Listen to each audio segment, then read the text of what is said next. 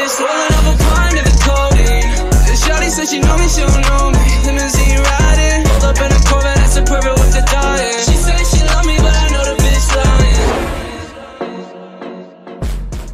Muy buenas a todos a Cosas del Básquet y bienvenidos a un nuevo vídeo. Polémica no, polemicaza la que ha habido entre Lakers y Phoenix Suns con un tiempo muerto justo cuando Austin Reeves pierde la bola, instantes finales del partido. Esto para muchos ha sentenciado definitivamente a Phoenix Suns y esas posibilidades que en aquel momento tenían para levantar el partido, para llevárselo y eliminar por otra parte a Los Ángeles Lakers. Los Lakers han pasado, se enfrentarán a los Pelicans e Indiana Pacers se va a enfrentar a Milwaukee, que es el otro equipo que ha pasado eliminando a New Knicks. Vamos a hablar de los dos partidos de los dos. Pero antes deciros dejar vuestro like, suscribiros para que llegue más gente y para que más gente se entere de lo que está pasando en la liga, en la NBA, que Lakers ha eliminado a Phoenix, que Milwaukee ha eliminado a New York Knicks, que ha habido lesiones, que hay bajas, que hay gente que se recupera. ¿Quiénes lo vamos a ver? Carmelo Anthony, my boys ha podido volver a la NBA después de retirarse. Ha habido un equipo que ha pedido a Carmelo Anthony. ¿Queréis saber quién? Vamos con el vídeo. En primer lugar, my boys, hablamos del partido para mí más importante de la jornada por lo que ha pasado, por el enfrentamiento face to face que se producía entre LeBron James y Kevin Durant y precisamente por esto quiero empezar, por el enfrentamiento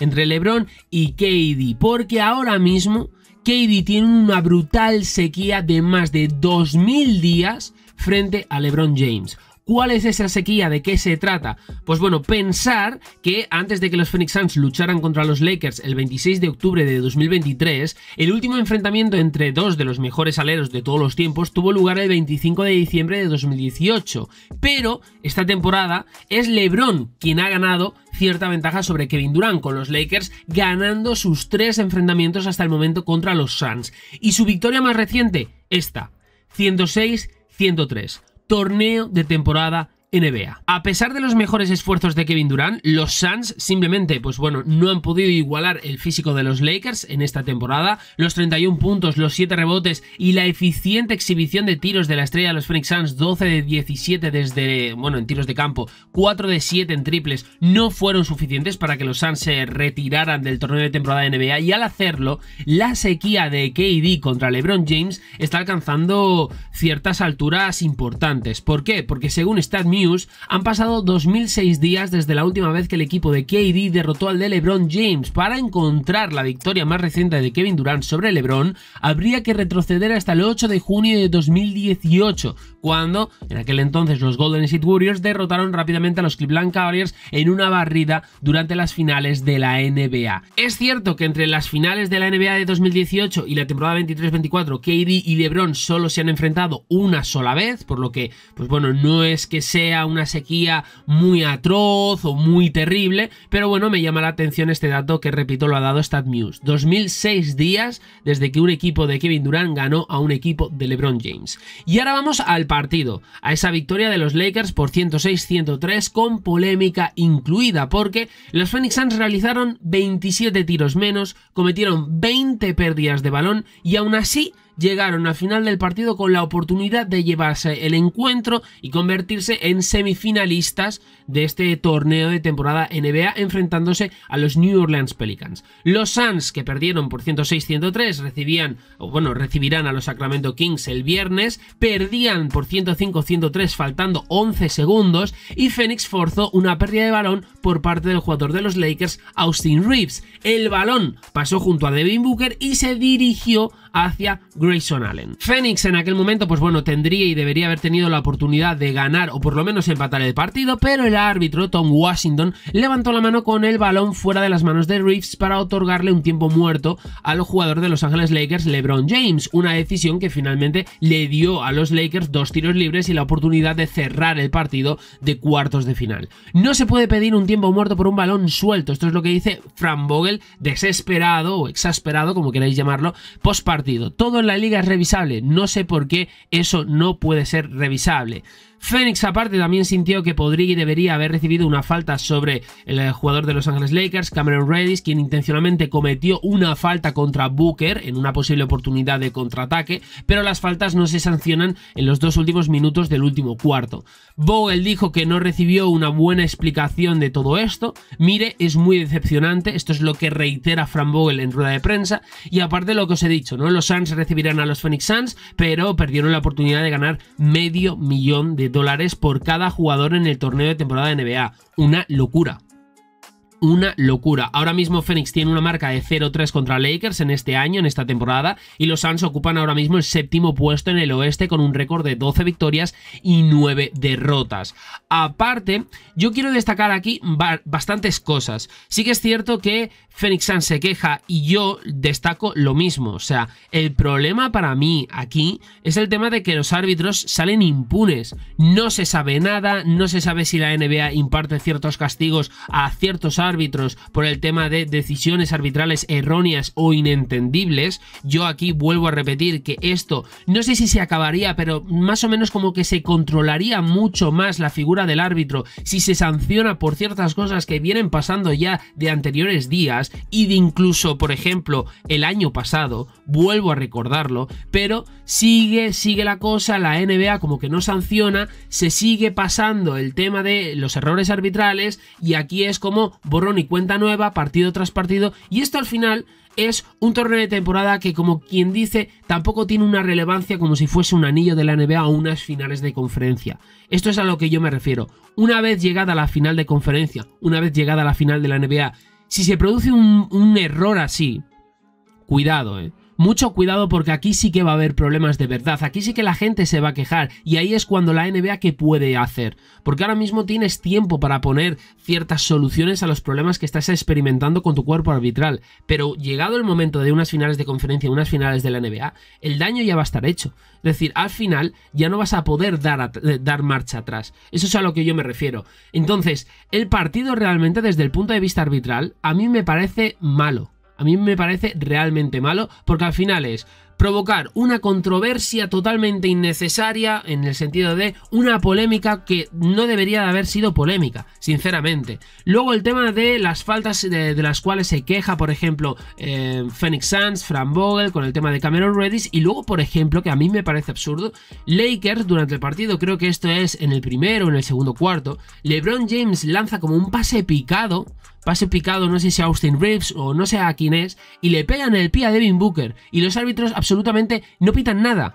LeBron se vuelve prácticamente loco protestando esa posesión perdida por parte de los Lakers, porque es lo que os digo, lanza un pase picado a uno de sus compañeros, creo recordar que es Austin Reeves, y le pega claramente en el pie a Devin Booker, y los árbitros no pitan nada no pitan nada. Y no es que hubiera eh, delante del árbitro cuatro o cinco jugadores de Lakers, de Phoenix Suns, que le impidiera al árbitro ver la jugada, ver el balón, donde le pegaba. No, o sea, es que había dos jugadores, eh, como mucho tres, en cancha de, Phoenix Suns, en el lado de Phoenix defensivo.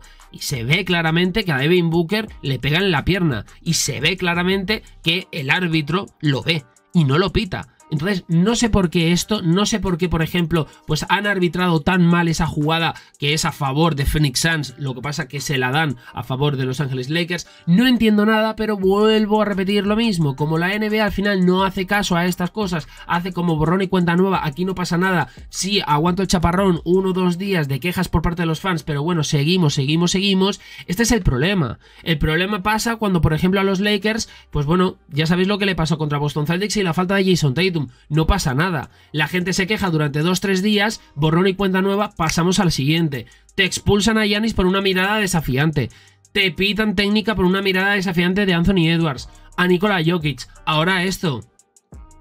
Es que al final, este es el problema, que tampoco la NBA hace nada para, para, solucionarlo. Este es el problema. Y ya para terminar en cuanto a lo de Phoenix Suns, simplemente quería hablaros de la situación de Bradley Bill. Bradley Bill no está disponible debido a una distensión en la espalda, en la zona baja de la espalda, para estos cuartos de final que ya se han disputado y que los Lakers ya han eliminado a Phoenix Suns. Pero bueno, Bill va por buen camino con su recuperación, según Fran Vogel. El jugador de 30 años solo ha jugado 3 partidos, no ha aparecido con el uniforme de los Suns desde su derrota por 111-99 79 en casa ante Oklahoma City Thunder y esto es lo que dijo, no hay preocupación, sentimos que pronto recuperará toda su fuerza, así que esperemos que sea así y que por fin de una vez por todas oye, Phoenix Suns pueda contar con su Big 3. Y ahora, boys, del partido Lakers a Phoenix Suns nos vamos al encuentro que tiene lugar entre Milwaukee Bucks y New York Knicks. Si comparáis los resultados de ambos partidos os echáis a llorar absolutamente a llorar. 146-122. Victoria de Milwaukee Bucks en un partido donde prácticamente podemos asegurar sin miedo a equivocarnos que las defensas estaban de vacaciones absolutamente. Los Bucks, eso sí, consiguieron todo lo que querían en el lado ofensivo, demostraron lo peligrosos que pueden ser cuando están disparando a toda máquina. Esta versión de los Bucks es la que muchos analistas creían que obtendríamos de forma más regular, de forma más consistente. Giannis Antetokounmpo, pues bueno, era el que ejercía una inmensa sobre la pintura. La defensa de los Knicks colapsó eh, una y otra vez, lo que llevó a 23 triples de Milwaukee con un ardiente 60,5% en tiros. Una locura, esto es de locos. Y en el proceso de permitir que los Bucks tuvieran carta blanca en el ataque, los Knicks registraron su peor salida defensiva objetivamente hablando, desde 1979. Según Scott Gronsky de CBS 58 News, los 146 puntos de Milwaukee son la mayor cantidad que Nueva York ha permitido en casi 44 años. Los Knicks permitieron 145 puntos a los Kansas City Kings el 18 de diciembre de 1979. Me parece una absoluta locura este dato. O sea, una locura. Esta fue simplemente una actuación defensiva letárgica de un equipo como los New York Knicks al comenzar la noche que ocupaba el tercer lugar en el rating defensivo, permitiendo 109 puntos por cada 100 posesiones. Ahora, la demolición que experimentan a manos de Milwaukee Bucks lo ha enviado al séptimo lugar a la franquicia Knickerbocker. Ahora permiten 110,8 puntos por cada 100 posesiones, lo que supone una caída sorprendente en un solo partido. Porque aparte, durante la mitad los Knicks pudieron mantenerse, pues bueno, ahí ahí, face to face con los Bucks en la ofensiva, lo cual no es demasiado sorprendente, ya que Milwaukee tiene una defensa entre los 10 últimos de la NBA, no estamos hablando aquí de, un equipo defensivo top, pero nadie pudo brindar ninguna apariencia de ayuda confiable a Julius Randle lo que resultó, lo que facilitó a los Bucks, eh, pues bueno, en una victoria. La victoria por 146-122, si es que tampoco tiene mucho más allá, ¿no? Hay que destacar que hay un jugador que supuestamente será el gran señalado, que es Quentin Grimes. Es cierto que pues bueno, no tuvo un gran partido, ni mucho menos. Hay que destacar que el head coach de los, eh, de los Knicks post partido, Tom Thibodeau, habló sobre Quentin Grimes después de que el jugador, pues bueno, tuviera de nuevo problemas en la derrota ante los Bucks. Y esto es lo que dijo. Decirlo sobre Quentin no es justo. No creo que realmente tuviéramos a nadie que jugara muy bien. Esto es lo que dice tras la derrota Tom Thibodeau que a mí me parece bien. Ahora, no se puede negar que Quentin Grimes apenas hizo nada para ayudar a los Knicks contra los Bucks. Grimes dio acción durante 18 minutos en cancha, realizó un intento de tiro de campo y también cometió cuatro faltas. Acabó con un más menos de menos 3 y aparte Quentin, pues bueno, insinuó después del partido que sentía la presión de desempeñarse ofensivamente para los Knicks, lo que aparentemente está afectando a su concentración. Dicho de otra manera, la presión le puede. Ya está. Aparte, el mayor problema de los Knicks en la derrota de los Bucks no fue su anotación. Es la defensa lo que os he dicho. O sea, permitieron muchísimo. Y cuando tú pierdes frente a un equipo que te anota 146 puntos, 146 puntos, ostras, tienes un problema el cual te lo debes de mirar, ¿eh? Seriamente además. Seriamente. Golden State Warriors, my boys, situación de Chris Paul y de Andrew Wiggins. Ya sabéis que los de San Francisco no están pasando por un buen momento, vienen de perder dos partidos que en principio tenían que haberlos ganado por ciertas ventajas que tenían durante los enfrentamientos, terminaron perdiendo estas ventajas y también los partidos. Y aparte, pues bueno, los dos héroes de estos encuentros han sido de los equipos rivales, Malik Monk por parte de Sacramento, Paul George por parte de los Clippers. Obviamente necesitan cualquier tipo de ayuda posible, el regreso de Chris Paul y el de Andrew Wiggins serían dos manos muy, muy valiosas para Golden State Warriors, independientemente de cómo lo estén haciendo esta temporada, en el caso sobre todo de Andrew Wiggins. Entonces, en rueda de prensa, cuando se le pregunta a Steve Kerr sobre la disponibilidad de CP3 y sobre si jugaría contra Portland Blazers el miércoles, Steve Kerr expresó optimismo sobre el estatus del futuro miembro del Salón de la Fama. Él practicó y nosotros practicamos un poco, todo salió bien, así que lo llamaremos probable, ¿no? Así que lo van a catalogar como probable a Chris Paul y en el caso de Andrew Andrew Wiggins, que también se ha perdido los dos últimos partidos después de golpearse, de pillarse el dedo índice derecho con la puerta de su coche, al igual que CP3, Steve Kerr calificó al jugador de décimo año como probable para saltar a la cancha contra Portland. Situación de Bam Adebayo, my boys. La estrella de Miami actualmente está lidiando, ya lo sabéis, con una lesión en la cadera que lo mantendrá fuera en el futuro previsible. Y si bien originalmente no se trató como algo serio al principio, el propio Adebayo recientemente le ha dicho a los medios de comunicación después de entrenar el martes que no sabe cuándo podrá regresar. Todo esto según Barry Jackson de The Miami Herald. No tengo idea, esto es nuevo para mí, estar al margen. Me reevalúan cuando el equipo regresa de Toronto, entonces tendremos una conversación. No he empezado a hacer mucho baloncesto ni contacto, todo lo demás que he estado haciendo, filmar y cosas así, ha estado bien. Lo mejor para ello es descansar. Eso es lo que he estado intentando hacer estos últimos días. Muy aburrido, pero este es el proceso. Estas son palabras de Bama de Bayo sobre su recuperación y sobre, pues bueno, su lesión con Miami Heat. Ojito porque ya sabéis que Bama de Bayo estaba siendo uno de los mejores jugadores dentro de la franquicia de South Beach, así que el impacto negativo que puede tener una ausencia larga de este jugador en el equipo puede ser muy visual, ¿eh? Y mucho cuidado, my boys, con Boston Celtics. Sí, os voy advirtiendo mucho cuidado con Boston porque es un equipo que se ha reforzado, tienen a Drew Holiday, tienen a Porzingis, aunque con problemas de lesiones, tienen a Jason Tatum, tienen a Jalen Brown, es un equipo que acaba de caer recientemente, ¿no? En el torneo de temporada ante Indiana Pacers, ante Tyrese Halliburton, y ahora mismo existe esa posibilidad de que Boston aún se refuerce más para seguir aumentando esas posibilidades de cara al anillo, de cara a convertirse por fin de una vez por todas, que lo llevan sin hacer desde 2008, en campeones de la NBA. Existe la posibilidad de que se metan en el mercado ¿Qué pueden conseguir ahí? Bueno, ahí es cuando tenemos que empezar a especular, rumorear, etcétera, etcétera. Pero pensar que Boston tiene una marca de 15 victorias, 5 derrotas, están en la cima de la conferencia este, pero no significa que estén contentos. Aunque el récord sea positivo, estén liderando el este, no están contentos. Y la fecha límite de cambios, pues es una fecha muy a tener en cuenta para este equipo, porque se informa que los Celtics estarán ocupados antes de esa fecha. ¿Quién lo dice? Sam Sorania. Los Celtics todavía tienen algunas selecciones de primera ronda. Espero que estén activos en el mercado de cambios a medida que nos acerquemos a febrero, para tratar de ver si pueden reforzar su rotación en el banquillo. Cuidado con esto mucho cuidado, porque si bien es posible que Boston no haga ningún movimiento importante antes de, esta fecha límite de intercambios, su plantilla aún necesita algo de trabajo. El banquillo del equipo verde promedia solo 25,7 puntos por partido esta temporada, la segunda marca más baja de toda la liga, y el lunes por la noche los problemas de los Celtics fueron más que visibles en esa eliminación ante Indiana Pacers por 122-112. Esto es así. Entonces, para ser justos con el banquillo, se podría decir que no fueron el mayor problema de los Boston Celtics durante la derrota por 10 puntos. Boston tuvo la friolera de 17 pérdidas de balón frente a 6 de Indiana y fueron superados 17-7 en el último minuto, minuto y medio del partido. Además, los Celtics anotaron solo 23 puntos en el tercer cuarto y permitieron 37, lo que describe, pues bueno, las preocupaciones del equipo en la segunda mitad y el promedio de Boston de 25,4 puntos en el tercer cuarto es la peor marca de la liga hasta el momento. Todo esto según Team Rankings. Entonces, cuidado. Más profundidad alrededor de Jason Tatum y de Jalen Brown debería en principio ayudar a los Celtics, pero aún queda trabajo por hacer y simplemente os digo, Cuidado con la fecha límite de traspasos, cuidado con febrero porque puede ser una fecha en la que Boston se mueva incluso antes. Noticia que simplemente me parece curiosa. El exjugador de la NBA, Carmelo Anthony, leyenda, obviamente, ha hablado recientemente sobre qué equipo de la NBA ha intentado ficharle recientemente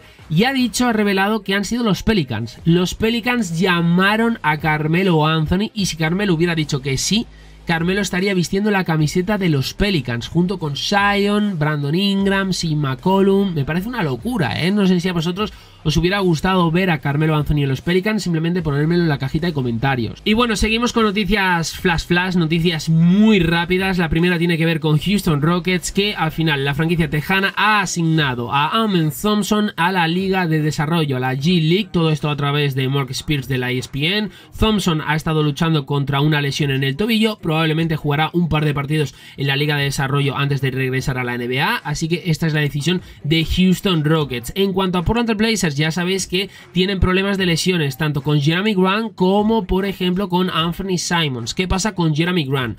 Portland anunció el lunes que Jeremy, pues bueno, pues eh, había entrado en el protocolo de conmoción cerebral después de salir de la derrota del sábado ante Utah Jazz tras chocar con Omer 7, mientras los dos luchaban por un rebote, y ahora los Blazers han degradado a Grant a out antes del partido contra Golden State Warriors. Y en el caso de Anthony Simons, simplemente deciros, simplemente contaros que es un jugador que, ojo, se decía que se estaba recuperando, que estaba trabajando poco a poco, que iba por el buen camino, etcétera, etcétera, ha sido ascendido a cuestionable ahora para el enfrentamiento contra Golden State Warriors, así que podría estar Simons. El que no va a estar es Grant. Y ya sí que sí, para terminar, tema NBA, tema Adam Silver, ha confirmado este último el plan de hacer el draft de la NBA en un evento de dos noches. De dos noches. La liga todavía se está adaptando a la llegada de rookies populares como Víctor Wembanyama, quien habló sobre su nueva fama, etcétera, etcétera. Y recientemente, pues bueno, Adam Silver abordó la posibilidad de convertir el draft de la NBA en un evento de dos días a partir del próximo junio, al mismo tiempo que reflexionó sobre la posibilidad de añadir más equipos a la liga, porque ya sabéis que al final la NBA está muy interesada en expandirse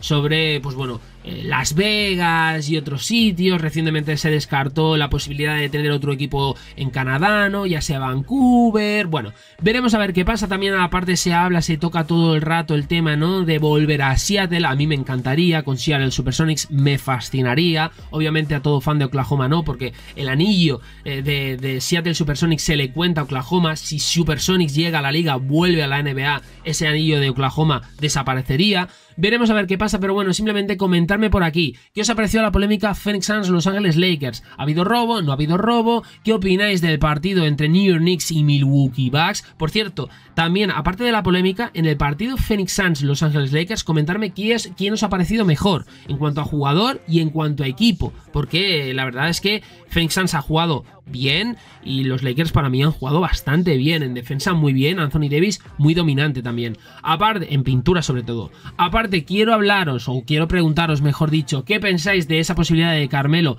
a New Orleans Pelicans? Ahora mismo ya no existe, pero en su momento, comentarme también qué os ha parecido esta posibilidad de que el draft se dé en un evento de dos días, las lesiones, por ejemplo, de Golden State Warriors, lesiones de Portland Blazers, todo lo que penséis, todo lo que opinéis, todo por aquí, like, subscribe y nos vemos en próximos vídeos aquí en Cosas del Basket. Somos boys.